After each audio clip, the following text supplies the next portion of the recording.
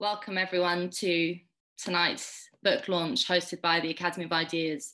My name is Ella Whelan. I work with the Academy of Ideas, and tonight we are delighted to be hosting the official launch of uh, Professor Frank Furedi's new book, Democracy Under Siege Don't Let Them Lock It Down. And today is the launch day of that book.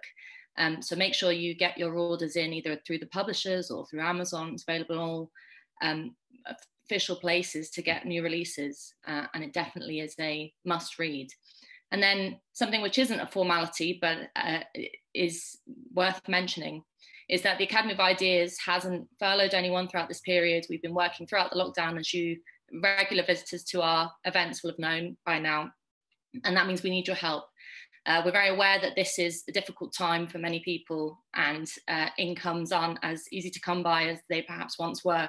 But if you can uh, give anything, then any donation, small or large, is really appreciated by the team and helps us to continue putting on these kinds of events, especially with the news that things aren't going to change potentially anytime soon where we need your help more than ever. So thank you for your support, those of uh, you who have supported us already. And any uh, link, any donations can be sent to www.academyofideas.org.uk forward slash donate, which I will put in the chat now. Right, um, now I want to introduce Frank, uh, someone who doesn't need a, a, great deal of introduction to many people because he's a regular speaker and something of our own philosopher at the Academy of Ideas, has always been um, a keynote speaker at our Battle of Ideas Festival throughout the years.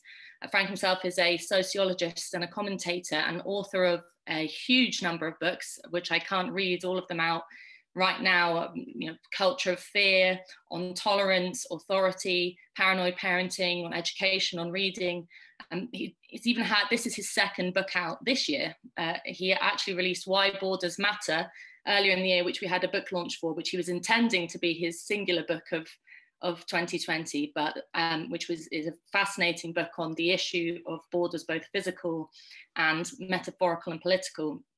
But uh, as he puts it in the beginning of Democracy Under Siege, things were happening in politics in relation to coronavirus, but also in relation to Brexit and other trends that meant that he felt that he just had to sit down and write this very short, sharp um, intervention into the discussion around democracy. And you know, publishers, which are usually slow to get off the ground, were quick this time around. And so Frank is celebrating his second book of the year democracy under siege don't let them lock it down is is not primarily about coronavirus. In fact uh, the, that really only gets a mention latterly in the book. In fact what it is is a defense of democracy in, in and of itself as a value that societies should cohere around something that needs a bit more of um, political debate and political intrigue that he argues that democracy is something of a, a that people have lost faith in um, for various ways. And so it's a really a must read for anyone who wants to get to grips with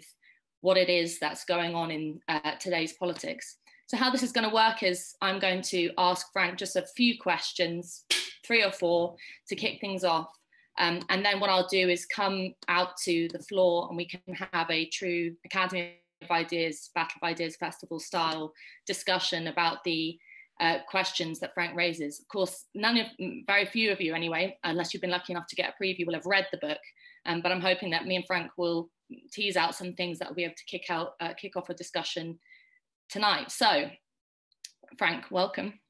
Hi. And uh, the first question I want to put to you tonight really was why now? I mean, I mentioned coronavirus and Brexit, but there are other things that you mentioned that sparked your interest in writing a book like this. So, why in 2020, when it actually feels very hard to think about democracy under our current conditions, have you written this book? I think the main reason is because uh, I noticed even before the pandemic that uh, there was a stream of uh, opinion being published, were, which was very hostile to the capacity of people to determine their future, who were arguing that, you know, you really cannot rely upon the electorate to make uh, the right kind of decisions. Uh, you had people saying that democracy was overrated, and okay, we can have democracy, but we don't want to have too much democracy. And I just thought the idea that, there, that you can have too much democracy or you can have too much freedom um, indicated uh, that there was uh, a real mean-spirited dislike of democracy and hatred of democracy. And you can see that today, for example, because these trends have become extremely uh, solidified since the pandemic. You can see it now that uh, every day, virtually every day, you'll find something being published. Today, for example, there's a common piece in the Times that essentially argues that because of COVID, uh, people have lost faith in democracy. And what they really mean by that, and this is a point that's been emphasized time and time again, is that in China or in Asia, where you have authoritarian regimes, they are really good at sorting out the problems. You know, they don't need to consult the people. You have all these experts who are backed up by the state and they can get things done, you know, pretty efficiently. Whereas in a place like Britain and Italy, people are messing around. They sometimes riot. They don't follow the rules. Um, they really are, uh, are, are not particularly good at um, bringing the right kind of changes about.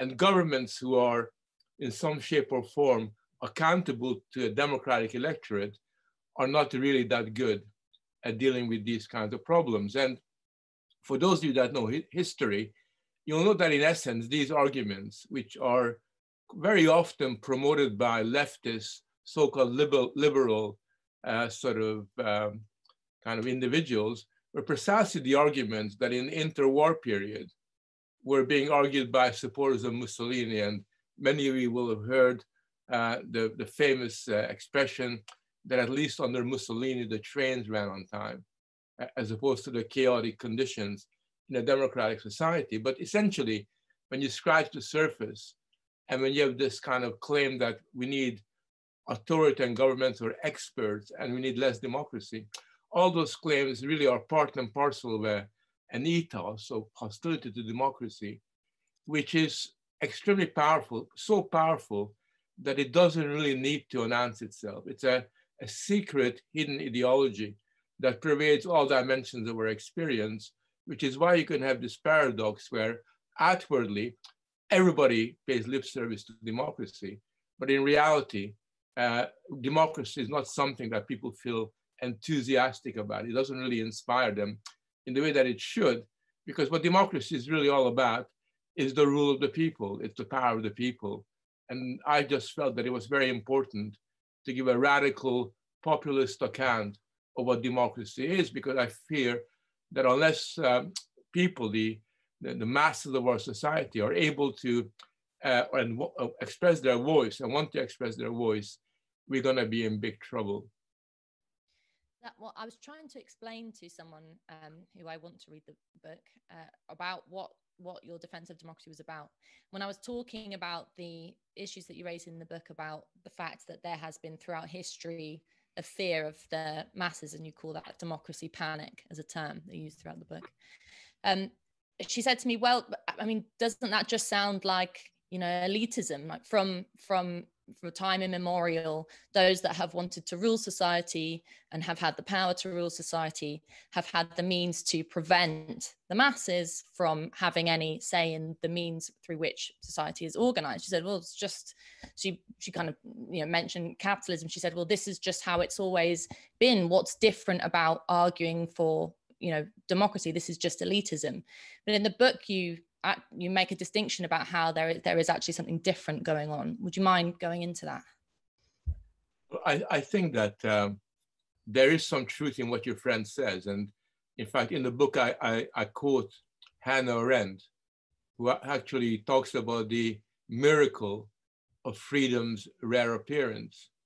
And what Hannah Arendt means by this is that if you look back over the last, you know, 4,000 years or 2,500 years, you'll find that there are very rare moments when there's a genuine culture of, of democracy in the sense that people are really living democracy, where ordinary people really believe in themselves, in their capacity to, in some shape or form, influence uh, their fate.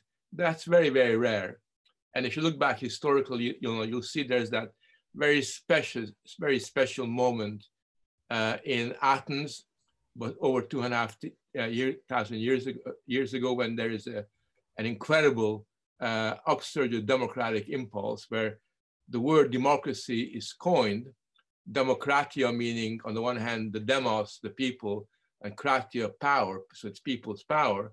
But what's interesting is that even before the word democracy is coined, the hostility, the oligarchical hostility to democracy is so powerful that for a very long time to come, democracy will be a dirty word and will be seen as a, as a very negative concept. And you got to then jump forward to the 17th century, where in the course of the English Civil War, people get turned on to this idea of freedom, that their consent uh, really matters, that you know that people, that governments should have no right to speak in their on, on their behalf unless the people have given their consent. So a long time goes by, and and I would argue that you know the spirit of democracy, when you look at it, you know, are, are only kind of comes around on very special occasions, very few occasions, which is why uh, it is important for us in the 21st century not to take democracy for granted. I, I think that, you know, regardless of whether you're for or against Brexit, there was this uh, incredible moment uh, that occurred around the referendum where people, a lot of people who never get involved in politics, who aren't interested in making their voices heard, all of a sudden felt that for the first time in their lives, what they said actually mattered. And I think, uh, you know, certainly from my study and my research, going around and talking to people, I kept on meeting individuals who basically said, most of my life, it didn't really matter who I voted for. Most of my life, it didn't really matter uh, what, what my decision was because, you know, in my constituency, it's always the Tories that get elected or it's always Labour that gets elected. But now, for the first time, the outcome was far from clear, far from evident. And therefore they felt that, you know, what they did was really quite important. And what I'm trying to do in the book is to suggest that that spirit of, of believing that your uh, contribution to public life can have very important consequences uh, is something that I want to, you know, sort of provide uh, a certain amount of intellectual support for, uh, uh, so that that belief it doesn't just simply disappear the day after a referendum, but continues to, continues to inspire a significant section of society. And then the difficult part of that, of convincing people, I mean, especially around the Brexit referendum, this was an argument I think a lot of people had, is the question of expertise. And you you point to it in the book where you talk about um, Socrates when he describes he's frustrated with this idea of the demos and he says you know when you're building a ship you don't just ask any tom dick or harry to borrow a modern phrase uh, to build that ship. You hire architects you have a captain. There are a serious amount of trained experts that go into the production of that ship. And in the same way um, it's frustrating or sort of inconceivable to some people that you would have the serious business of running society, you know, and today in terms of, you know, various parts of policy in relation to the economy, all the kind of complicated mechanisms that we run society by today. To, you know, people say it's inconceivable that I, uh, journalist, would be able to know what to do with, for example, you know, some form of monetary policy. How do you get around that trepidation around mass engagement in politics? Well, I think the, the most important uh, thing is for people to understand that uh, wisdom about specific issues is always contextual, that uh, there really isn't a science of politics or a science of public life that can give you a priori answer. So if you have a PhD in public administration, it doesn't really necessarily mean that you know better than the guy down the road, the butcher, or you know better than the mechanic, you know better than the cleaning lady, you know, sort of what that particular neighborhood, that particular community actually needs at that, that, that moment in time. And I think that the, the first person to really struggle with this in a satisfactory way was paradoxically uh, Machiavelli, who in his writings, Machiavelli makes the point you know, in, in, in his discourses that the wisdom of the masses uh, outweighs the wisdom of a prince or a small number of oligarchs. And what he's really getting at is that you and I and everybody who's involved in this chat room when we uh, sort of put together our collective experience, when we uh, uh, sort of synthesize our insights, are able to usually come up with uh, better and more pertinent decisions than somebody that's sitting in the SAGE committee. Now, the people in the SAGE committee are really good at number crunching, and I'm fairly sure that their epidemiological skills is far more sophisticated than mine, and I've got no uh, desire to question or challenge what they say about the numbers. But their expertise is about, you know, sort of providing us with uh, a number of options and a number of uh, kind of models about what is really taking place. And it's really up to us to make the political decision as to what make what use we make of that, whether we accept it, reject it, modify it, how we implement it. Because at the end of the day, you know, life is is is really much more than about uh, a, science, a scientific insight. Life is about human interaction, and uh, when it comes to the real experts in human interaction, it's the people that are part and parcel or integral to that interaction.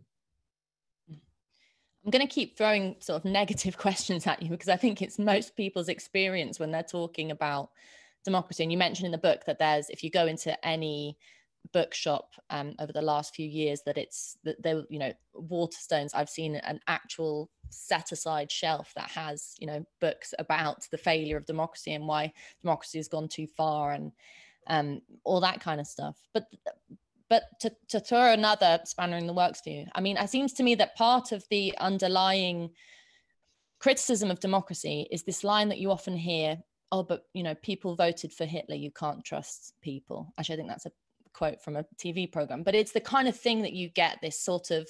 There was that ridiculous incidence of it where um, they held out a poll to rename a boat, and people named it a stupid name, and it, people held, you know, there, lots of commentators held it up as an example of the idiocy of crowds, the ridiculousness of the mob, the fact that you you know you really can't trust people and it wasn't necessarily about the process of democracy it was about the fact that human beings weren't to be trusted with this power. And putting aside the kind of the, the points that you've made already about the sort of the underlying elitism of much of that because often people say well i can be trusted but it's just her over there that can't be. Is there a deeper problem in relation to faith in humanity which is something that you've touched upon in uh, previous books that you've written that also needs to be addressed in this that you can trust the cleaner as much as you can trust the professor to make moral and profound decisions um, rather than having this underlying assumption that if you let loose on the masses, then inevitably things are going to head south?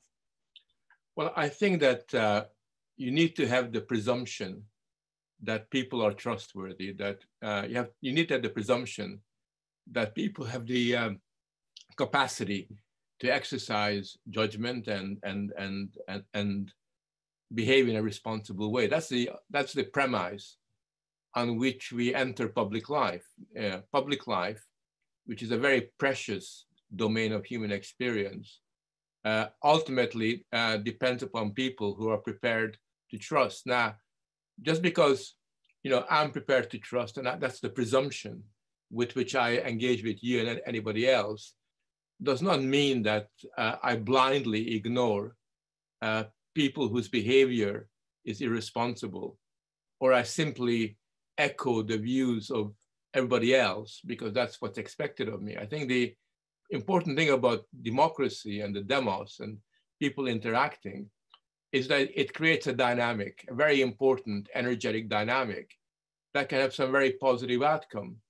Now, as it happens, people are able to make some very bad decisions as well. I mean, you make mistakes, I make mistakes. We, this is part and parcel of the human experience. I happen to think that our individual mistakes are far more likely to be uh, neutralized and contained when there are other people around who are taking part in that uh, interaction than when it's simply three or four people sitting in the room. So I think on balance, you know, sort of uh, that dynamic has got that creative element. You know, people can make mistakes. As it happens, uh, Hitler was not elected by the German people you know, Hitler uh, managed to gain power through a number of uh, elite uh, led manipulation where he, you know, precisely in the, in the election before he gained power, he actually lost a lot of votes. Nevertheless, by having a, by being able to enact a constitutional coup with the covert support of sections of the German oligarchy, he gained power rather than, you know, the majority of Germans never voted for Hitler uh, at any point. But that's just a myth that's kind of uh, brought out. Having said that, you know, it is possible that people, you know, in an election will vote what I think is the wrong way. And I've been disappointed on numerous occasions when in public life, uh, in, in, meetings in my trade union or in uh, uh, various other kind of settings, people don't vote in the way that I, I think they should. And I think that's, that's tough. You know, that's, that's the way it, it is. Democracy doesn't promise that every single time discussion and debate will lead to the right kind of outcomes. What it does promise is the potential for the clarification of ideas, and, and, and that's got a very creative dimensions. And my argument, and this is one reason why I wrote, I began writing this uh, little book, is that, is that that process of living democracy is something that is good in and of itself. It's a foundational value for a civilized society that we believe that the exercise of freedom and the capacity of people to voice their sentiments is something that's good in and of itself, even if, if its result is not what we would like. And therefore, what I argue is that rather than have a selective approach towards democracy, support it when the right people get elected, but criticize it when the wrong person gets elected, we have to live with the fact that on, uh, at various times we will be on the losing side, that we will not be able to convince people of our opinion. And the solution to that is not to uh, write a comment piece in the Times or another newspaper and criticize the electorate for being stupid. The solution to that is to develop and elaborate our arguments to the point at which it could appeal to people, it, it could convince people. And not only that, but the solution to that is that you and I have to learn from the experience of debate. And it may well be the case that those people who we, we believe were wrong actually have something important to teach us. There's you, as well as being a defense of democracy, this book is also a kind of a crash course in the history of um, dem- democracy, and as you say, the history of anti-democratic thought as well.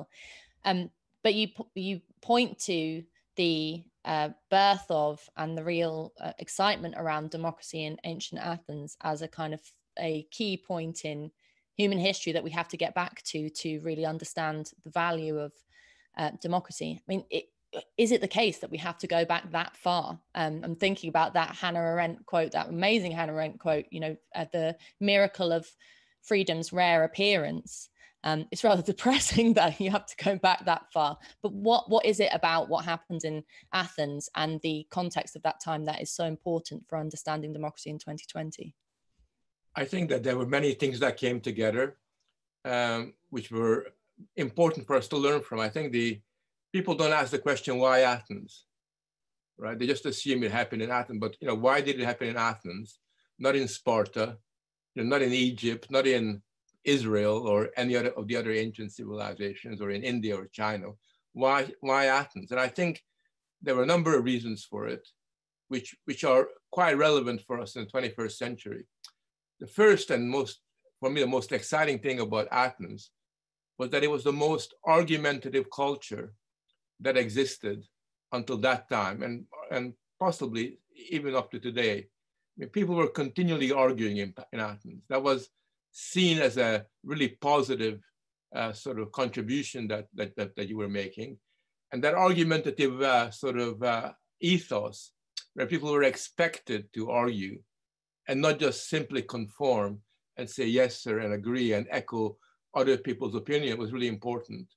The second uh, exciting thing about Athens for me is that Athens was a uniquely risk-taking culture. In Athens, the taking of risks, of exploration, of experimentation was in the DNA of that culture. Athenians went all over the world. Unlike other people who sat at home and expected things to happen. They went to Sicily, they went to different parts of the Mediterranean, they set up colonies. They were always looking for opportunities. And in the course of doing that, they, they actually learned a lot because they could see that people behave differently in different parts of the world. They could compare, they can contrast, they could abstract. And I think it's interesting that it was in Athens that reading for the first time acquired meaning. It, it's in Athens that we have the first genuine reading culture where people read. You know, people actually read, you know, not, not, books like we have now, but, but, but, but, begin to read uh, sort of philosophical text. Why is that important? The reason why that's important is that it's only when you have things down on paper or the or papyrus or the equivalent of or scrolls, when you have things down on paper that you can begin to see change and understand by, by, by writing things down that the way that things were in the past was different than now. It's only then that you can have a sense of history. And it's only when you can have a sense of history that you can begin to think that you as an individual might be able to change history or at least influence history or at least play a modest part in the making of history. And that's really, that came together in Athens at a unique, very, very early stage. And that was a, those kind of cultural attributes were ones that were lost in many, many other parts of the world. And even in Rome and other kind of cultures where elements of that were integrated, the, the whole package of risk-taking, of argumentation, of reading and a reading culture, I mean, all those things didn't actually come together in the same kind of a way until the Renaissance in Italy, uh, a long, long, long time later. Mm-hmm that importance of reading links me to my next question, which is in chapter six of the book. You look at mass culture, and really it pertains to this the difficulty I have with squaring the issue of education in relation to democracy, because it seems like two issues happen at the same time. On the one hand, we're all very well acquainted now with the sort of panic around fake news and the idea of mass information and that people get fed too much stuff from Twitter feeds or elsewhere, um, and that they are so snowed under with all this rubbish that they really can't. There's too much mass culture and they can't make head nor tail of it.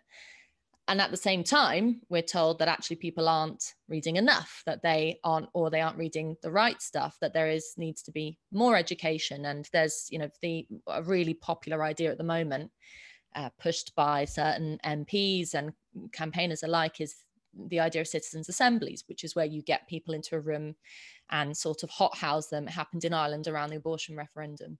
Feed them with the right kind of information from, you know, the experts, and then it's only in that very managed means of education that they achieve the right kind of uh, process of democracy. Um, but that that's obviously contradictory. Uh, uh, we're being told that we have too much information and actually too little information at the same time. But uh, you know, it's a bit of a lazy answer that people often say, well, education is the key in these arguments without sounding sort of like a Philistine. What is the problem that you pick out in that chapter six of the sort of fetishization as education, almost used as a block, it seems, a lot of the time, for getting actually on with the real argument of the value of democracy? Yeah, I think if one really wants to uh, understand this question, you could do worse than read Hannah Arendt's a little essay called On Education. Because the point that she makes is that when it comes to education, you know, there is no such thing as adult education if you really understand what education means. Education actually means the transmission of knowledge and the legacy of the past from one generation to another. And education is something that adults do with children as they socialize them and as they bring them up and prepare them for adulthood and freedom. Whenever people talk about educating adults, or like today, for example, you know, there's all this stuff in America uh, where uh, uh, this new kind of anti-racist argue, go educate yourself. You know, what that really means is that, you know, I'm going to tell you what to think. And what Hannah Arendt says is that when, you, when somebody says that adults should be educated, and you gave the example of deliberative democracy when people sit around and get educated so that they will become worthy citizens. What you have is somebody behind the scenes trying to tell them what, what they should think. And I think that uh, whenever you have these uh, projects that bring people together to educate them in citizenship and everything else, they're not drawing on people's experience and, and, and not really harnessing the insights that they grew up with. They're basically telling them the values that they should be uh, sort of embracing. So in that sense, uh, this kind of educating for democracy misses the point both about education and democracy because education has got nothing to do with training adults to, you know, like the way you do monkeys to, you know, sort of jump up and down. You know, uh, with adults, you, you take them seriously as mature individuals and you have a discussion and you have an argument and you try to convince one another, you know, so that's, that's, we call that argumentation and debate. And it's also, it completely uh, misses the point about democracy because democracy is not something that you get on a piece of paper or I'm going to read a book and, and that will make me a Democrat. Democracy is something you acquire and, and, and a taste for democracy through living democracy, through voicing your views and being open to other people's views. So I think in that sense, these initiatives are merely the a medium through which sections of the cultural elites try to gain control over people's uh, uh, internal life and direct them in a way that that that they that, that they kind of prefer. Mm-hmm. I've got just two more questions, Frank, and then we'll come out. So anyone who wants to raise their hand, um, do so, and I'll come to you when we come to the discussion. Um, the I sort of want to ask the issue, the, the extent to which it's going to be difficult to uh, talk about democracy because uh, as a term, even actually as a word, it's uh, it's become so bastardized in many ways. I mean, you use some of the examples in the book, including you know the fact that we've got the Democratic People's Republic of Korea, which you know is a good example of the means through which that word has become mangled.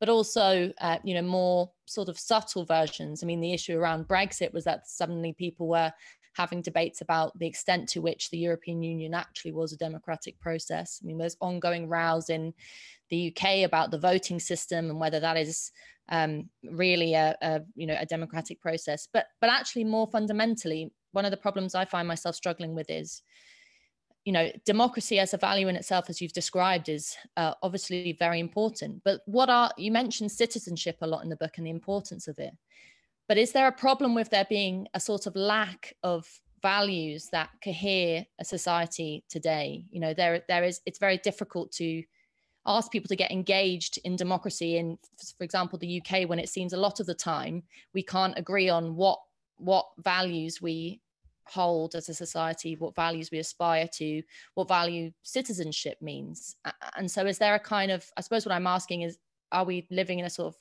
pre-political moment almost where we have to decide what those values are in order to invigorate a true sense of the the value of democracy.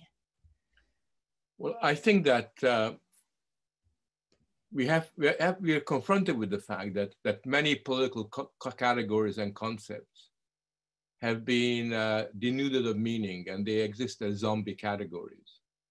And you know if, if i was talking about the left and right I would struggle to explain what the left and right means in the 21st century. I would have no problems to tell you what left and right meant in the 18th, 19th, and the 20th century. But today, you know, sort of what the left is and what the right is, uh, is, is really, uh, bears no relationship to the original meaning of the concept. And we have, we have this problem particularly uh, in relation to two funda foundational categories. One is freedom that I'm not going to talk about because freedom is just uh, has very very much the same kind of problems with democracy. And the other is democracy because what's happened is that democracy has been uh, denuded of its uh, moral content and and its value. And democracy is essentially seen as a kind of procedure for getting people elected. It's a second order principle. It's a, a medium through which elections take place. It's a medium for the gaining of consent of people. That's how it's, it's kind of generally seen. So it's a, it's a very much a technical orientation towards democracy. And people, even well-meaning people, very often uh, allude to that very famous Winston Churchill quote when Churchill basically says that democracy, you know, sort of uh, is like the, the best of all the bad options you know, but when you listen to what Churchill is saying, he's not particularly enthusiastic about democracy. It doesn't say it's a wonderful um, medium uh, for uh, guiding public life. He says it's, it's better than other forms of, uh, of, of, processes and procedures for getting the right kind of government. And I think he's wrong, because if you merely have a procedural understanding of democracy, if it, it becomes merely uh, an electoral process, then its creative and its transformative dimension, its moral dimensions, you know, will be lost altogether. And the purpose of the book is actually to acquaint people with the fact that uh, the, the capacity to voice your views is what's really important and to express your views and to engage with other people's views is what's important here, far more important than the casting of the ballot. What's important with the casting of the ballot is that that's been done on the basis of people's views having been expressed, on the basis of people living democracy. But if people become detached and stop living a democratic life, as is the case very much today, then obviously under those circumstances, you will have this very elitist idea of democracy, where it becomes merely a question of what kind of procedure, you know, you know, we would like to see, what kind of procedure we would like to take place. And I think that when that when that becomes the dominant view, then we need to challenge that. And I hope that, you know, in, in a very small, modest way, my book is able to at least acquaint people with a different approach towards democracy, something that I think uh, could inspire at least, uh, at least captivate the imagination of those of us who take freedom seriously. My last question was going to be a topical one, um, Frank. When I was thinking about this launch, I thought that I would be asking about how we defend democracy in times of coronavirus. And we can get into that in the, I encourage people to ask questions about that. But I think I have to ask a question about what's going on in France, um, which, you know, how at a time when it feels like uh, a lot of the threats to democracy are um, not exactly authoritarian. They're kind of subtle, as you say in the book. Um, they happen through a sort of disintegration of the value of democracy. It happens with the sort of undermining through the some of the things we've talked about. But the atrocities of the beheading in and the knife attacks in Nice and the attacks in Avignon and Lyon at the French consulate in Saudi Arabia and indeed the beheading of Samuel Paty um, makes you think that there are some, you know, there are some very real and very violent threats to a way of life, which, you know, in France anyway, though democracy is not perfect there, has holds dear, at least to some extent, some of the values you've been talking about. So, how do you defend democracy and why is it important to do so at a time when such barbarism is happening against a democratic way of life? Well, I think the real problem in France and in England for that matter is that uh, a lot of people ha have been forced into a situation where they either switch off when they see uh, threats to a, a, a kind of a, a, democratic ethos or a democratic way of life, or worse still, I think what you often have is a kind of self-censorship, where people know that something bad is going on, but either they don't bother to express a view, or they're too scared, or they feel that their views might be misinterpreted, you know, will not be seen in the right kind of a way. And I'm actually, what, what you know, I'm glad you asked that question because what I'm really bothered about is not simply or, or principally what's going on in France. What I'm worried about is what's going on in England or Britain, where when you had the first beheading, you had a, a pretty cowardly silent response on by sections of the media. I mean, when I was looking at certain newspapers, like The Guardian and, and, and The Independent, the way they kind of talked about the beheading was like, this is not, you know, it's a kind of inconvenient and, you know, sort of uh, not an issue for us. You know, it's not as sexy as, as for example, free school meals, you know, sort of something like that. So you had this kind of, you know, sort of uh, almost like a, a, kind of self-conscious kind of silence or, or, or, or, or, an impulse not to really engage with what is a very real problem going on in France. Uh, complete absence of solidarity. And then I think, well, look, look what happened today, right? Today, this very day. Today we have a situation where you have a bunch of people demonstrating in front of the French embassy, you know, criticizing uh, the you know people for daring to uh, sort of stand up for certain secular values, and you know, you know kind of basically uh, sort of uh, kind of uh, putting forward an Islamist standpoint and interpretation on the subject, which they're totally entitled to do in a democratic society. You know, you could be a radical Islamist, and there's nothing wrong with you voicing your view about uh, how horrible a secular way of life is and how, what a you know how much of a threat is that is to uh, a particular religion. But I what I found really offensive is not what they were doing. What I found very offensive is that there wasn't a demonstration in front of the French embassy in full solidarity with the people that had been killed or beheaded, in full solidarity with the kind of values that you know are very important within French society. They weren't there, right? I mean, just stop and, and pause for a second. That says something to me about how seriously people take freedom and democracy. It's almost as if, you know, a section of society puts up their feet, they stay at home, you know, kind of look at their watch, and they talk about free school meals, you know, now and again. And that's like the issue, issue of their time. But when it comes to what is a, a, a visceral and an intellectual threat to democratic life, when precisely France needs solidarity, actually needs solidarity, because there are a lot of international pressures, you know, people uh, are either looking at their shoelaces, and the media in particular, in this in this country, uh, behaves in what is a totally cowardly, you know, sort of manner. And then they have the gall to publish an article.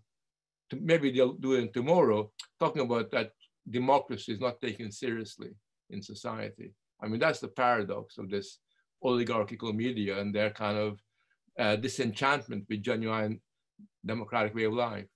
Mm-hmm. Okay, thanks, Frank. I better stop there because I could keep going, and we've got a huge amount of hands uh, raised. So what I'll do is I'll take about four or five and come back to you periodically, Frank. So, uh, Richard Taylor, we have you first. Well, firstly, thank you, Frank, for your time. I'd love to spend like 20 minutes in a room by myself with you because your brain is just amazing, especially for a Welshman. I understood everything you said. um, firstly, I'd like to say thank you for publishing this book. I can't wait to get my hands on it. Democracy Under Siege. Don't let them lock it down. I think it's an amazing title, and I'm going to pre-order my copy as soon as I get off this Zoom call tonight. That's it over. Right. Second thing is this, and the final thing, just quickly. Um, you talked about democracy and how uh, Brexit allowed a lot of people to engage with democracy and get involved with politics. And people like myself, if I can be honest here, I'm an ex-drug addict. Um, I went to rehabilitation, changed my life, married, got into politics because of the Brexit, the referendum vote, and joined the Brexit Party, etc., etc. My point is this: that a lot of people from my background, from the streets, people who don't really engage with politics whatsoever, they see politics as an autocracy, not a democracy. They see it as, you know, there's just one person in charge. He's the prime minister. He tells you what to do. You listen to what he says, and that's it. And it wasn't until the Brexit campaign, actually, that it really opened my eyes and made me understand that I have a voice, that regardless of my past or where I've come from, the journey that I've been on, it doesn't actually define who I am as a person. And my voice does matter. And I think what Brexit did and has allowed a lot of people to do is to get involved in politics and realize their voice does make a difference. And so I think, you know, for a lot of people from my background, that I've just shared with you all on your openly, it's hard for us to understand how democracy works because we see it as an autocracy.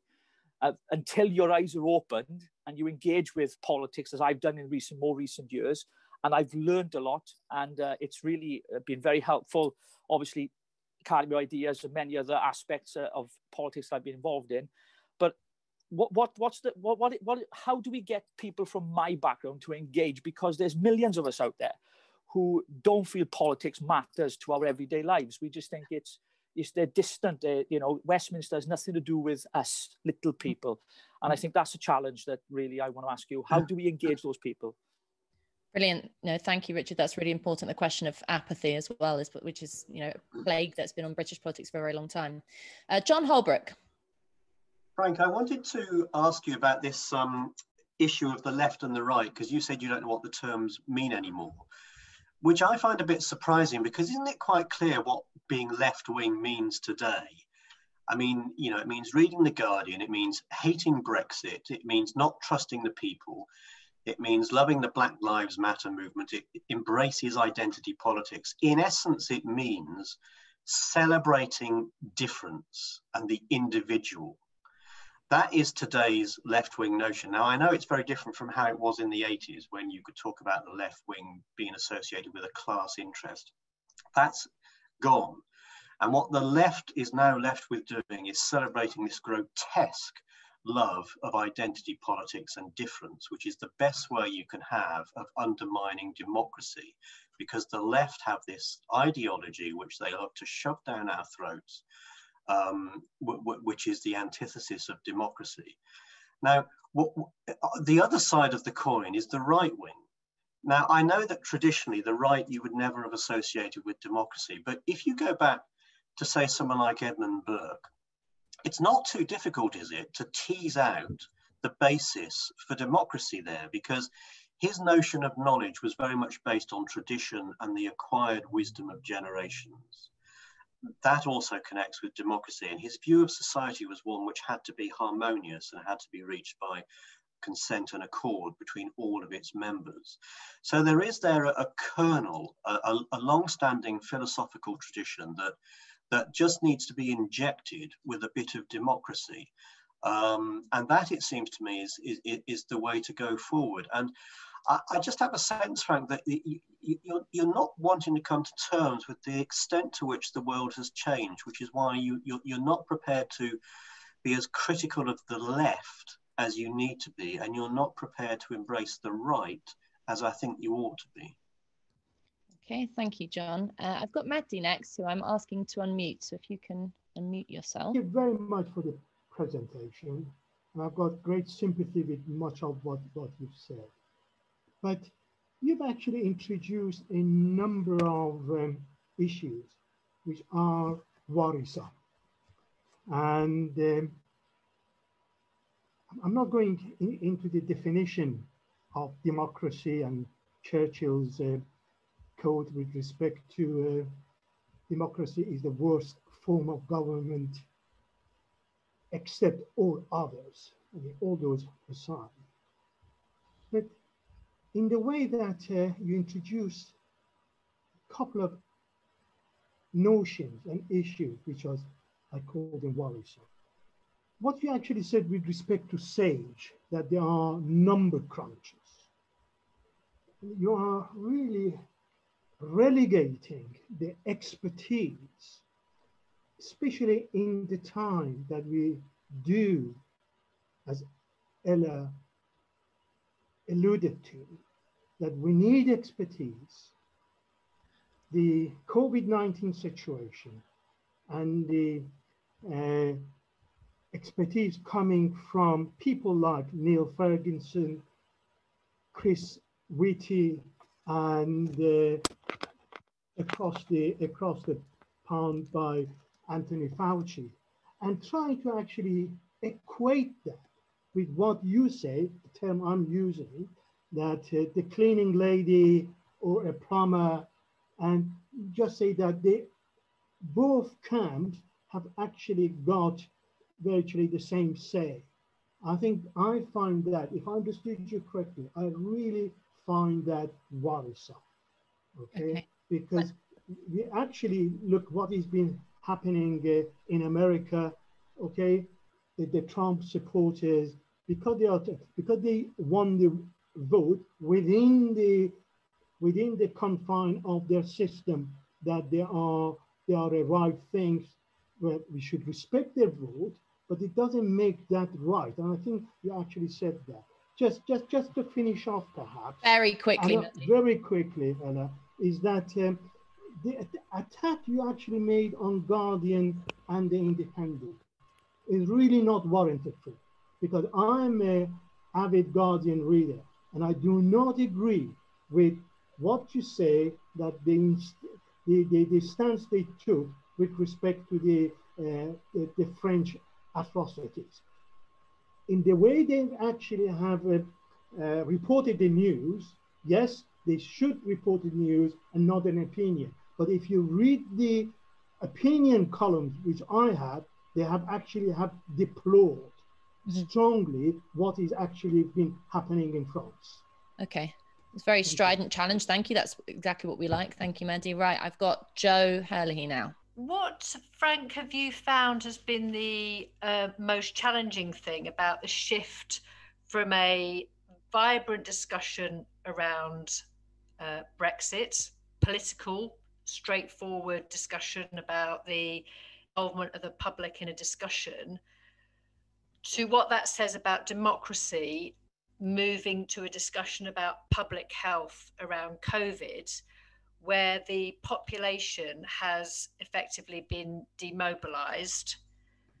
I'm interested to try to understand the relationship between how we act as citizens in public debate to how the public is being asked to respond to something which um, appears to be something dictated by expertise and how we navigate that, where the reality for most people is then opinion isn't being asked for, they've been demobilized en masse, yet you can't navigate a public health crisis through committee.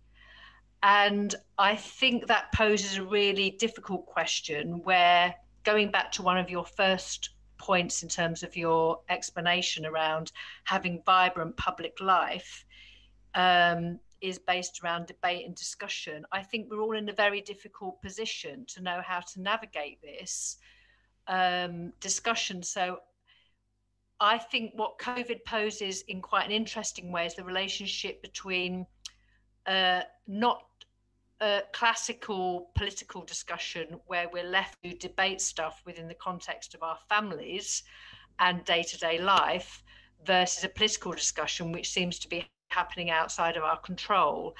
And I think that poses new questions for how we um, assert ourselves in terms of public life. And I'm just wondering how you've navigated some of those discussions and where you've had successes. Okay, great. Thanks, Joe. I'm going to take Rick and then I'm going to come back to you, Frank, and then we're going to keep coming out. So everyone who's got their hand up, don't worry, we'll definitely come to you. So, uh, Rick, far away. Um, Frank, this is Rick Schrader. I'm also a fan of Hannah Arendt. I've been troubled, as I suspect you have, watching liberal left friends go soft on all sorts of liberties, at least in the United States. That means the liberties in the First Amendment people who no longer want people having free exercise of religion and gathering together, get upset if they attend funerals, are opposed to freedom of association that would lead to people gathering together. A lot of people on the liberal left have given those up as liberties, and it's a surprise. But it seems to me that, and I, I like your your pointing to the moral core um, the feature of expressive liberty being featured that way. But it seems to me that most of your discussion seems to equate liberal democracy with the concept of democracy. And I wonder if that isn't an error. Certainly, the demos, when it uses its expressive liberties to express its view, are not necessarily going to adopt liberal principles. There are all sorts of non liberal democracies around. And homogeneous societies do that all the time. They're not necessarily going to have liberal attitudes towards religious diversity, towards minority groups. So much of your discussion, it seems to me, is about freedom, not about the demos per se. And um, I'd be very interested to see what you say about all those people on the liberal left who, out of fear of their own health, are prepared to subordinate these liberties to their health concerns um, and want there to be some third party that's going to keep other people from doing all sorts of things that would be expressions of their liberty. Brilliant. Thank you very much, um, Rick. So, Frank, just come back on a few things there, just two or three minutes on anything you want to focus on. Well, the last uh, question is the most difficult one to answer because uh, I take both liberties and, and the demos seriously. And it seems to me that uh, Rick is right, that the demos might not necessarily uh, come up with liberal solutions uh, and might not want to uh, support certain forms of um, liberal related ideals.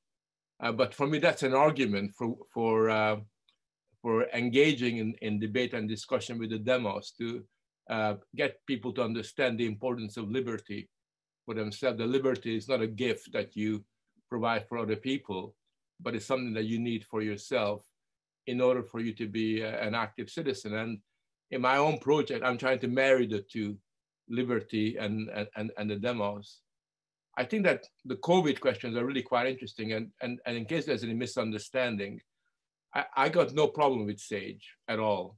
I think SAGE should be doing the epidemiological scientific work. Uh, what I'm arguing for is a distinction between health, public health on the one hand, and politics on the other hand. And my concern is that the moment we're tending to medicalize politics and we're tending to politicize health. The two things are occurring side by side. And the way that I look at it, when I use the example of cleaning ladies and plumbers having the same voice as a member of SAGE, I wasn't talking about their scientific work. That's their domain. What I was talking about is, is their views on what should happen within the context of a particular community. In other words, you know, people in my neighborhood ought to be the ones that decide, you know, how many people, it should be five or six people that can hang out with each other at home. I think that those are decisions that are political decisions. There is no scientific rule that basically says that unless, you know, sort of, uh, you know, we have less than six people, we're gonna have, we're gonna have a problem. These are decisions that we make. And we know, for example, that where I live in Kent, where the uh, infection rates are really, really low, there's no point in having the same kind of uh, regime as in other, in, in, other parts where infections are very, very high.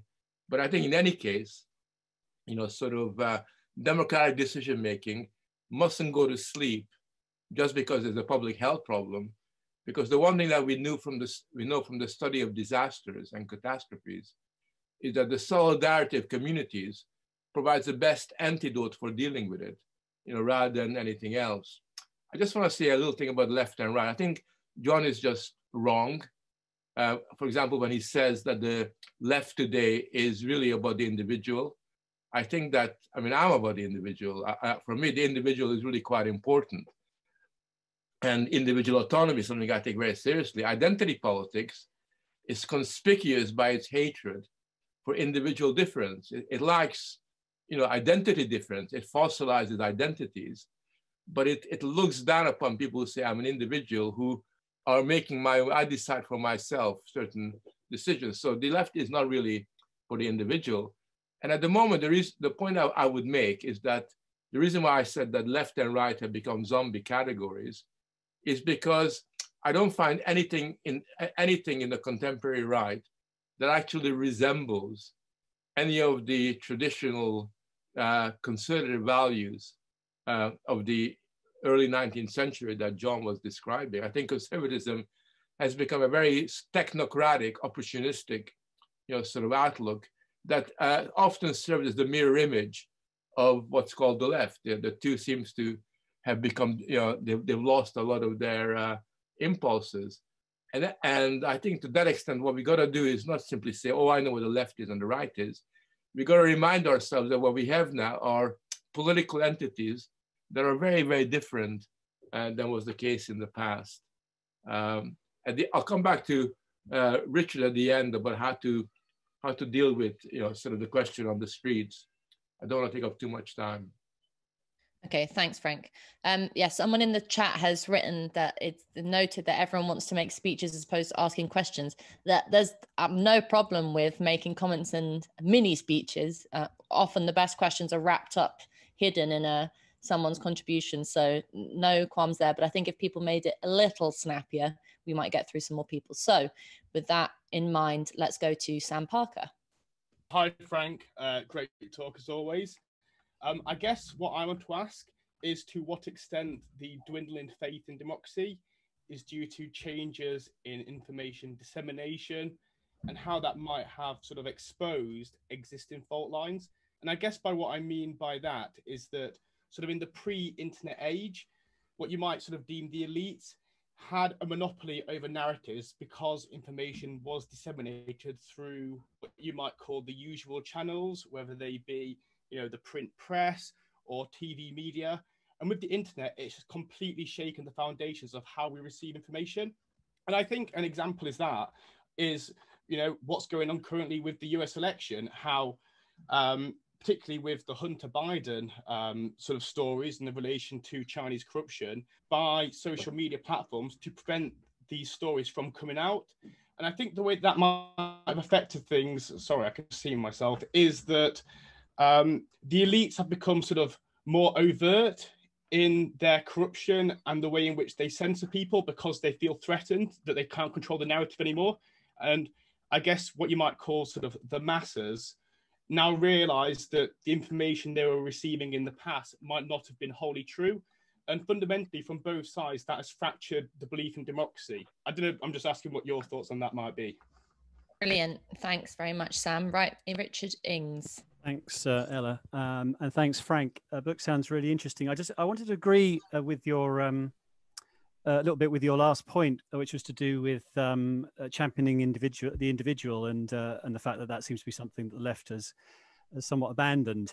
But I wanted to think of to ask you about it in in respect to um, the way, in particular with COVID, but but I've noticed this in in other societies as well that that actually there's an emphasis um, on the collective and the sort of solidarity which you were talking about as being a greater value than individualism, which is very much associated with selfishness. So, so in fact, in, in that respect, uh, for I think for many people, even if they confuse perhaps um, the me- mechanics of democracy with a culture of democracy, is that it feels like we're in a really democratic society, perhaps because because you know the government are making decisions which we all are kind of bought into. We're we're doing it for each other. We're helping each other out. And all I hear from the about the know, various marches that I've been on against the lockdown is how selfish I am um, and and what an idiot I am for for actually making it harder for people to to live their lives. So I'm I'm wondering what you think about that, that this kind of idea of actually we live in the most sort of you know uh, collective um, uh, looking out for each other type of society which feels in that sense kind of very democratic and and perhaps what you would suggest uh, a, a real democracy should be. Great thank you very much richard. So we now have carlton brick from scotland. Carlton.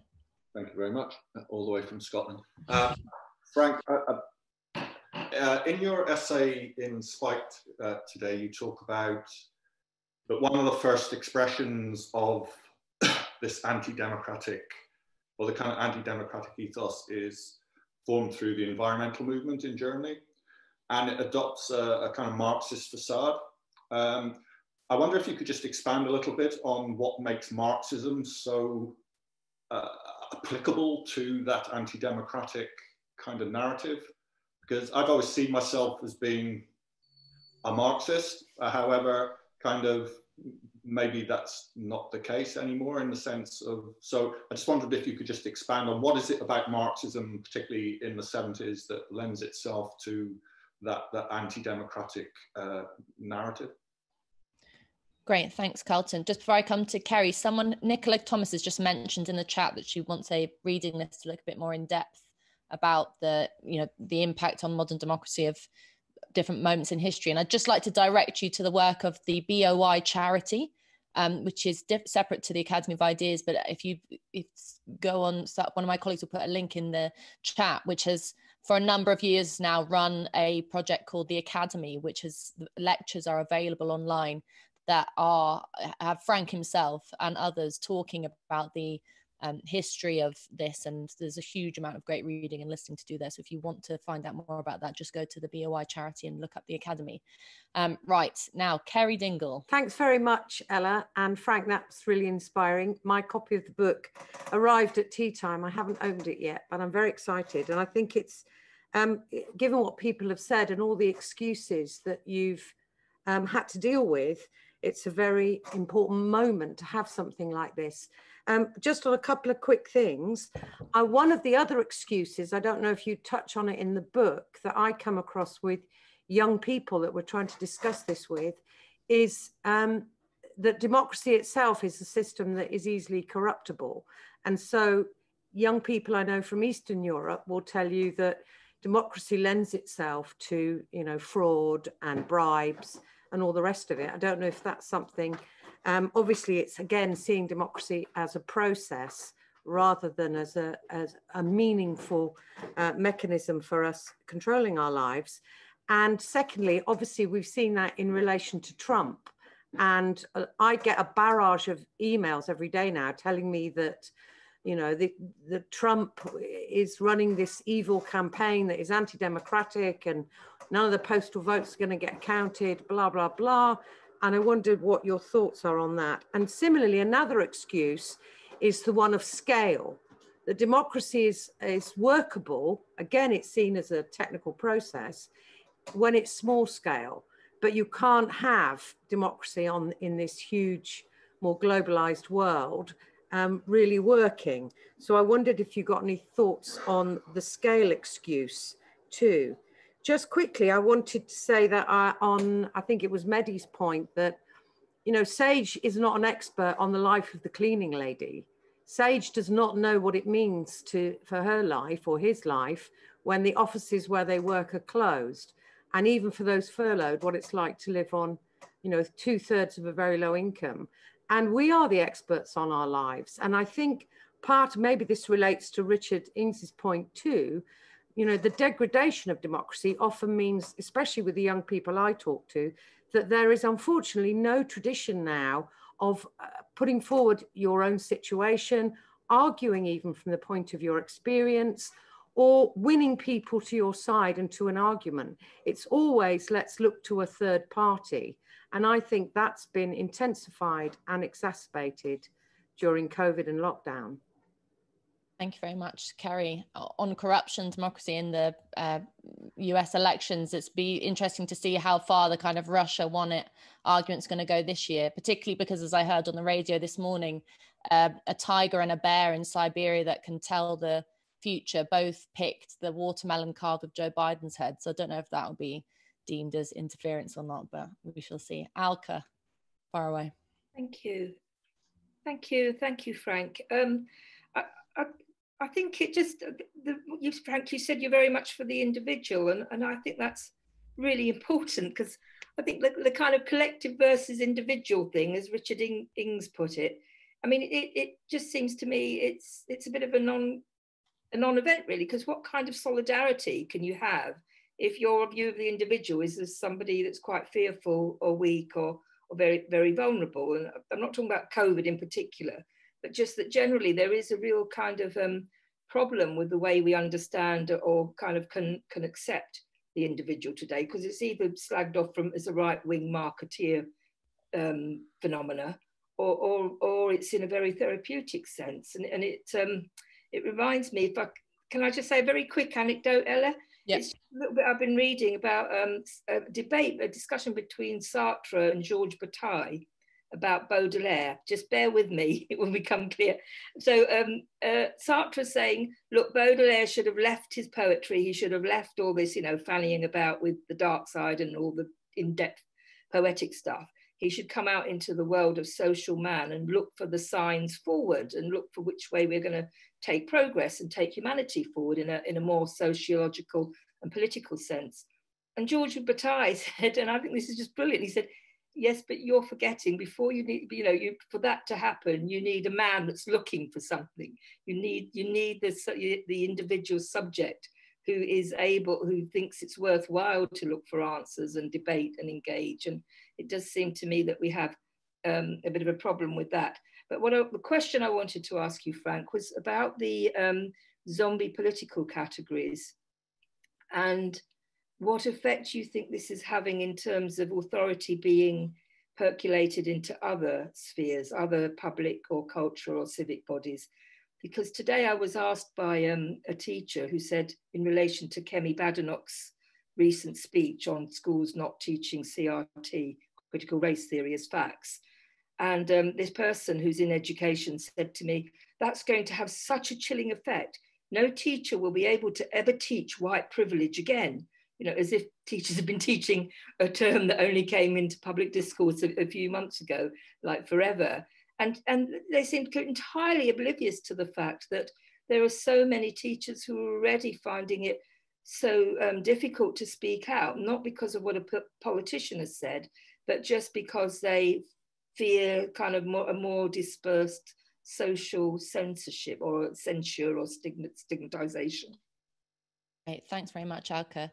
Um, Frank, I'm going to come to you now because we're running out of time, and then I'll come back out for a last largish round of um, questions. So, anything you want to pick up on that last few comments and questions from the floor?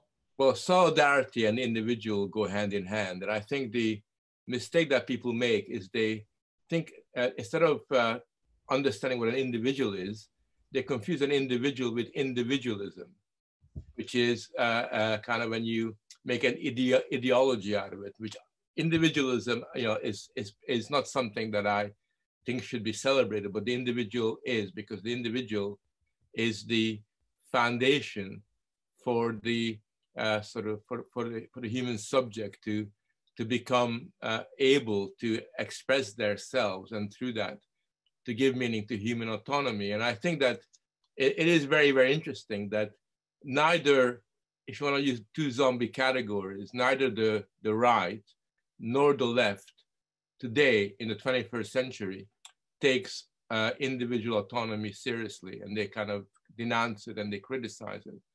And I could give you a lot more examples of foundational categories that were very important to the, to the Enlightenment and to the humanist worldview are both rejected by both sides, even when they don't know it. And that's why I think what's interesting is that, you know, sort of a lot of the debates today are zombie debates where people react against one another. So, you know, when right-wing people are denied the right to express themselves, as unfortunately they are in university and elsewhere, they become free speech warriors all of a sudden. Uh, and they kind of, you know, so they, they become you know, our allies or my allies, because I, you know, anybody that's for free speech, you know, I'm very, very, uh, you know, I kind of support them. And, uh, but, and similarly, the left, you know, sort of when they kind of are put into a corner, they suddenly change their position. And, you know, that relates to the thing about the, the Greens, that all of a sudden the, the Marxists of the 70s became environmentalists because they couldn't talk about class politics anymore, but suddenly environmentalism became their kind of métier that they kind of talked about. Uh, just on Carlton's point, I don't think that Marxism uh, is necessarily anti-democratic. I mean, Marx himself, uh, you know, sort of um, uh, in his writings, you know, wasn't anti-democratic. I think that Marxism can be used like anything can be used at the, in, in the present moment for anti-democratic tyrannical ends.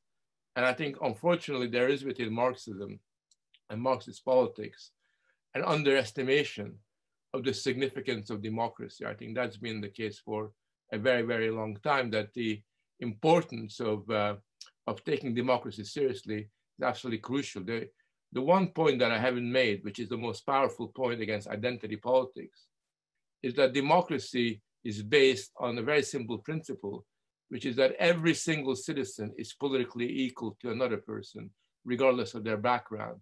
Every single citizen is a political is, is each other's political equal.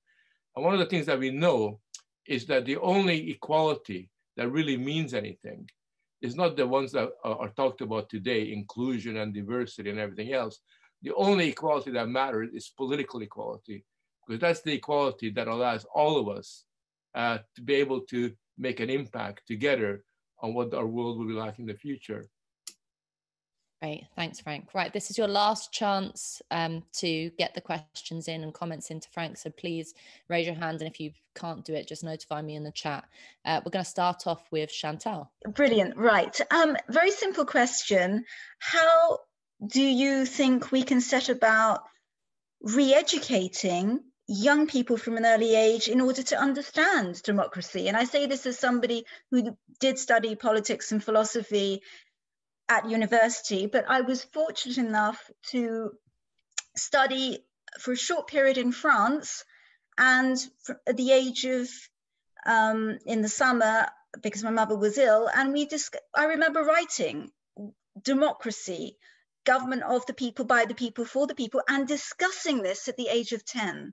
And so I've been listening to this wonderful discussion, but I'm I could go through many of the terms and think, well, I can define um, green in two different ways. They're not necessarily Marxist. I would say that I'm I was a member of the Liberal Party and I'm a member of the Green Party now. So yes, there has been a trend that maybe Marxists of the 70s have now adopted Green Party politics in Germany, but that's not the same necessarily here. So I think we need to start defining terms. Can we do that in the classroom?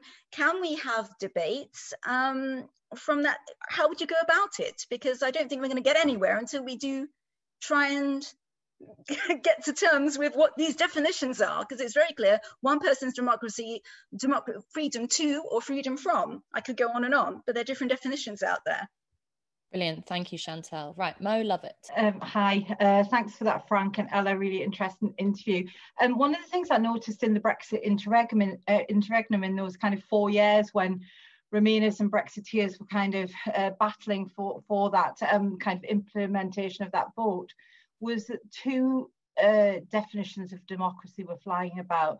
And the way I sort of thought about it at the time is that it was very much a kind of a Remainer concern about the institutions of liberal democracy being undermined um, uh, by the Brexit vote. And you, you kind of hear that as well in, in, in terms of Trump and the kind of anti-populist rhetoric that you get in the US, that the, the, the kind of um, instruments of democracy, the kind of um, uh, what I would say the technocratic kind of institutions and um, infrastructure of democracy are being threatened by um, populism. Whereas um, I've always understood democracy to be kind of a, you know an end in and of itself and a kind of a, a, a living, breathing thing that we continue to do, and that's why these discussions are so important.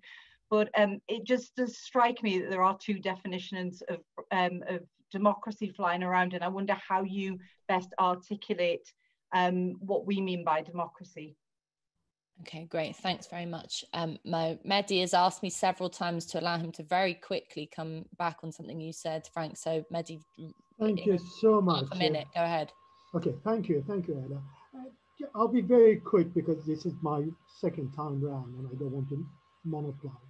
Frank, you are really wrong on on the expertise. You're actually uh, talking about technical and scientific expertise. If you think the, num the, the number six, which was um, um, advocated with regard to the mixing, or the distance of two meters apart, they were just plucked out of the out of the tree, and there is no scientific basis for that. There are risk calculations behind every uh, decisions or every recommendation that SAGES make.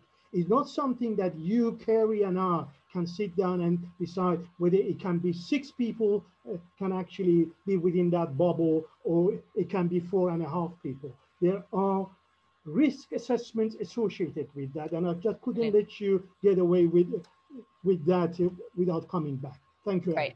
Thank you. No, we no, we won't let me get away with anything. So thanks, Mehdi. Right now, I'm going to come to Monica. Hi.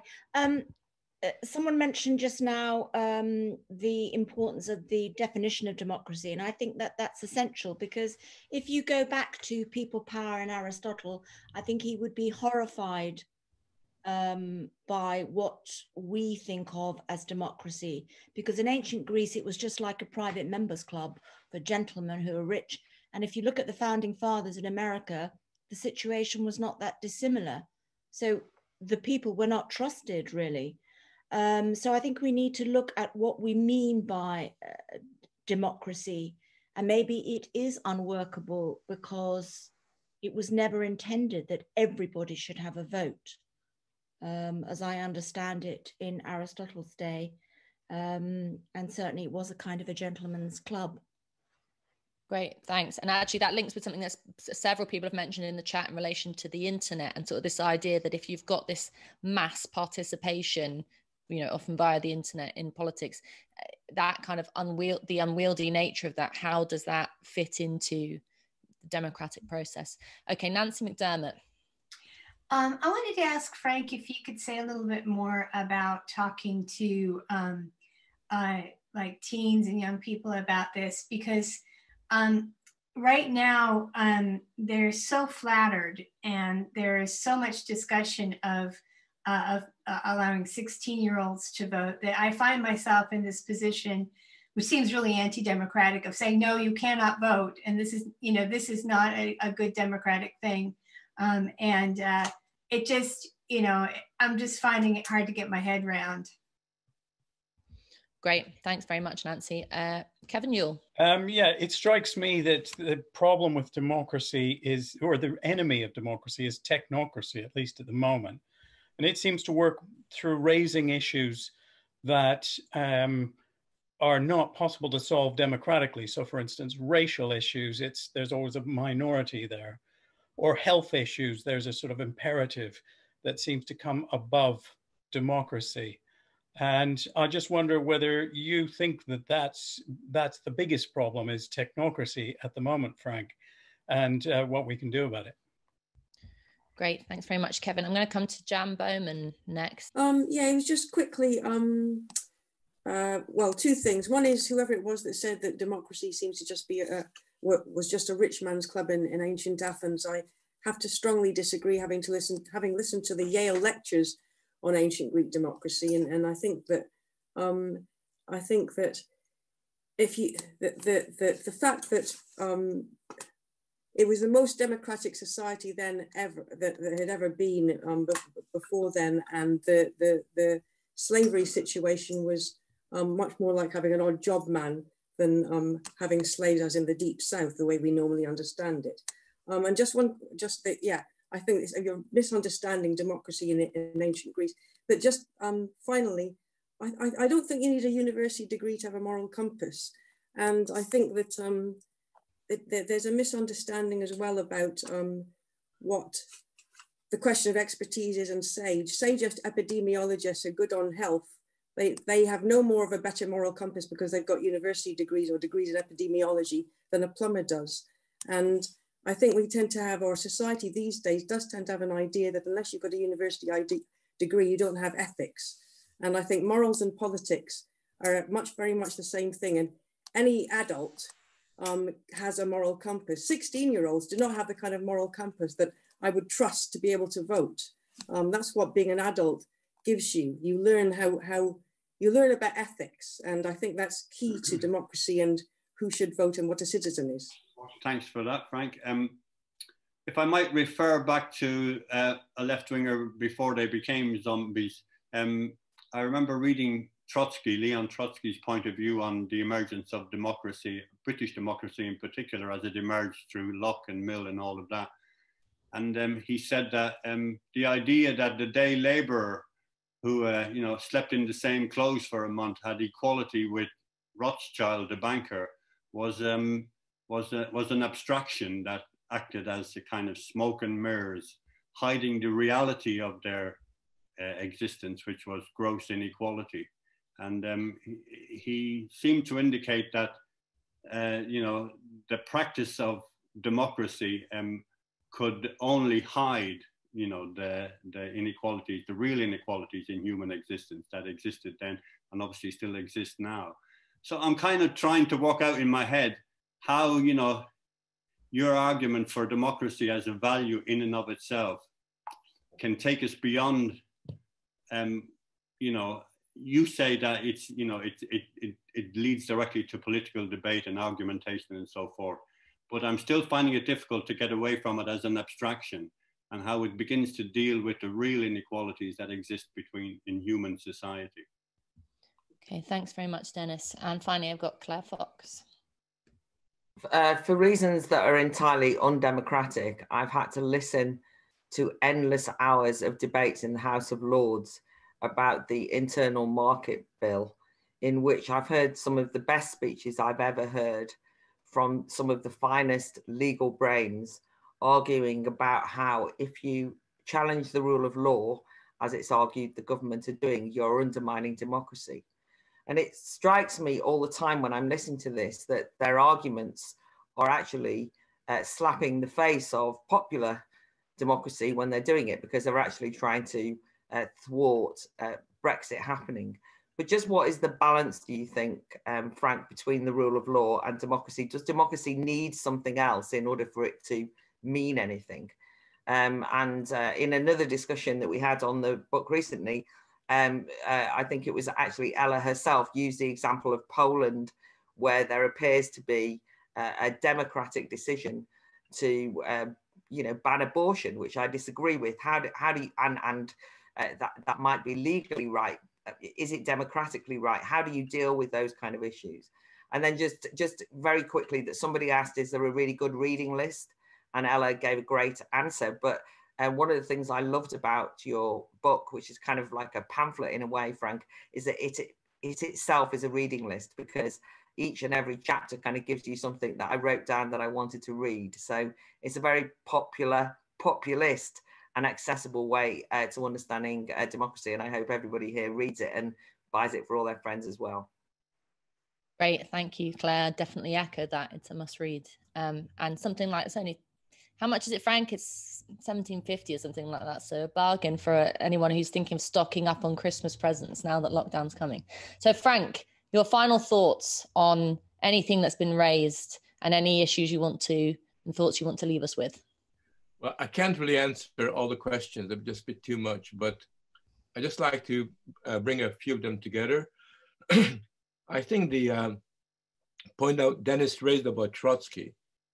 Um, overlooks one very important point, which is that political equality is not an abstraction. It's not something that exists up in the sky. Political equality means that everybody is equal under the law. Everybody uh, under the law has the same rights, and everybody has got the same power to influence political outcomes. Now, political equality by itself does not get rid of social and economic and biological inequalities of various sorts. But I would argue that if you're interested in real equality, then the instrument through which real equality is achieved is in the first instance through political equality. Without political equality, none of the other equalities matter.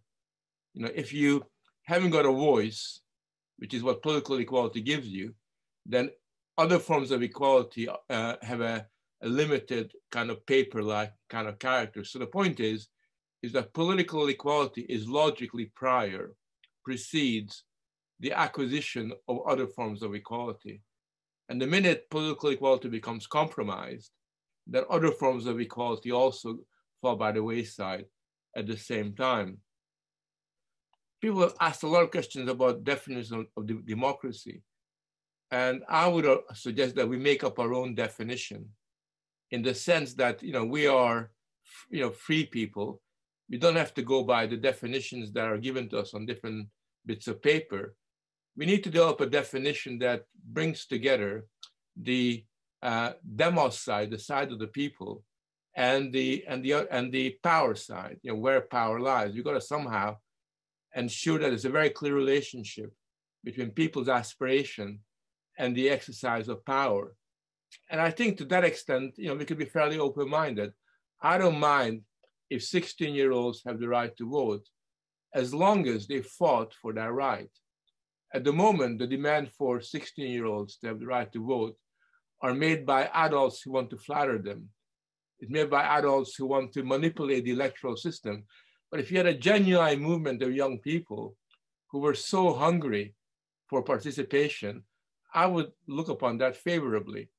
And that relates to uh, uh, somebody earlier on was saying, how do, I think was Chantal, how we re-educate uh, or educate young people. I think we have to somehow instill the life of freedom and the life of democracy in them at a very early point. I think we have to educate them for freedom. That's the key to it. At the moment, we educate young people to be fat, passive individuals who are very much uh, aware of their powerlessness and nothing more. Uh, I think it was Sam that asked the question about the internet. I'm, I'm a big fan of the internet for a very simple reason that it, you know, despite the lot of fake news you have and the censorship that's being imposed by uh, various kind of platforms, the internet gives us far more opportunities to uh, raise our voice than was the case in the past. I think people with limited resources can make quite a big impact if they get their act together on the internet. Look, for example, what Spiked has managed to achieve with next to no funding over the years. How you, you know, literally millions of people now read what they say, and, and that could not have happened if we were simply confined to the print media. So I think the internet uh, can be a positive uh, resource, but obviously, uh, as, as the case, as was the case offline, so to online, this, the impulse towards censorship is really, really powerful. I think I'm a bit of an expert when it comes to risk assessment. I've written quite a lot of books on it, and I'm not a epidemiologist, but a sociologist. I can assure Mehdi that the kind of risk assessment that is done uh, uh, in relation to how you implement policy is a very subjective accomplishment. It's nothing, it's got very little to do with hard science. It's got very little to do with the kind of the, the real scientific work that, that, that is being done to fight the virus. When it comes to the way that risk assessment is framed in relation to policies, it's really political decisions that prevail because risk assessment in terms of weighing up the risk of, of, of, letting five people to six people gather together is made on a political calculation about who you trust, how much you trust people, what the impact of this will be, how it will be seen. And these are entirely political matters, which uh, about which I think I've got as much of an expertise as, as they do in SAGE. But I also think that ordinary people living in families also have a, a lot of very important things to say uh, in, in relation to that. So I think that is seems to me to be uh, sort of quite important. Um, yeah, uh, finally, on the point that kind of Rick made uh, about how you talk to people and how do you get people involved in this. Difficult question, but uh, the way that I see it is that it's through our personal example. If, if people see you being interested in public life, if people see that see that you, you have something exciting to say about the events of the day, if you can get people to understand that uh, they don't need to be waiting for somebody else to make decisions for them, but in fact, they can be part of that decision making by their behavior. And those are the kind of attributes that we need to popularize and get across. Obviously, it's easier to do that with young people who have less responsibility and they don't have the burden of looking after a family. But I think that all members of society have got that this kind of potential, and it only takes a relatively small number of people to do this for uh, for people to begin to get the message. Um, Claire's question about the rule of law is very complex. All I would say is that uh, the rule of law uh, is essential for democracy, uh, for the running of the and the maintenance of democracy. But the rule of law is ultimately um, based upon democratic decision making because the laws that are made, the, the laws that rule over our democratic life, where do they come from? They shouldn't come from the heads of a number, a small number of judges. The laws should come from uh, the decisions and, and the discussions that people have made uh, in debate over a protracted period of time. So in that sense, I see democracy as being logically prior, but absolutely interconnected with the rule of law. Right. Thank you very much, Frank. If any, everyone can join me in giving you a round of applause. You, Ella. Thank you, Ella, as well. Now, uh, I've got just a few announcements. The first, most important one being that if you are uh, looking for a place to buy Frank's book, and I'm sure all of you who have been listening tonight will want to get your copy, um, I'm just going to post a link in the chat now, which is linked to Frank's book, which I lied is not 17 quid, it's 10.99 on Amazon. Uh, so you can get two copies. But the uh, just an important note that is if you are buying it via Amazon, if you could take the trouble to click through um, and to use Amazon Smile, which is a process where you can support a charity in your purchase, you can click and support the BOI charity. Um, by buying Frank. So it's two birds, one stone. And I'm sure it'd be very helpful to Frank if, when you have read the book, that you leave a review on Amazon. Um, so those three things: make sure you get it, get the book, get it via Amazon Smile, and tell Amazon what you think of Frank's book once you've read it. I read it really genuinely in less than 24 hours. Um, it was that good. So I'm sure you should all buy a book. And then uh, coming up um, in terms of events, I have to flag something that Frank is involved in, uh, again, in relation to BOI charity, which is that usually some people have noted that there usually have would have been a lot of events on. In fact, actually, it's a sore spot among the Academy of Ideas team tonight um, because we were talking this morning about the fact that we would usually have been in battle mode organizing the Battle of Ideas Festival up to our necks in lanyards and courting speakers and doing all sorts. But obviously, that's not happening this year.